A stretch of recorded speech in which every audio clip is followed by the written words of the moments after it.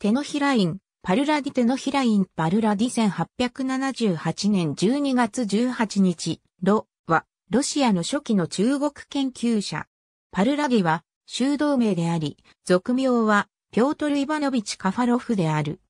正教会の修道士は、通例修道名のみで呼ばれるが、同名人物との区別が必要な際などに姓を表記されることがあり、本校の記事名は、修道名と姓から構成されている。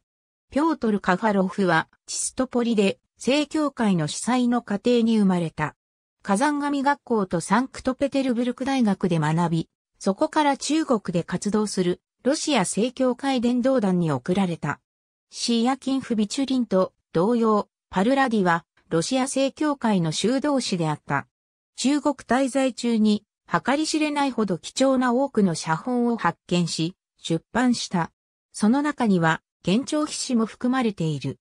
30年以上にわたって、テノヒライン、パルラディは、ロシア正教会の中国伝道団をまとめ、現地の民族学、言語学の研究を行った。1878年に病気のため帰国する途中でマルセイユで没死、ニースに埋葬された。パルラディはパルラディシステムとして知られる中国語のキリル文字転写を考案した。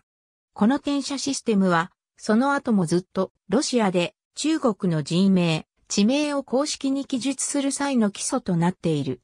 手のひらイン、パルラディによって編纂された中路辞典は今日でもなお科学的著作としてよく知られている。ありがとうございます。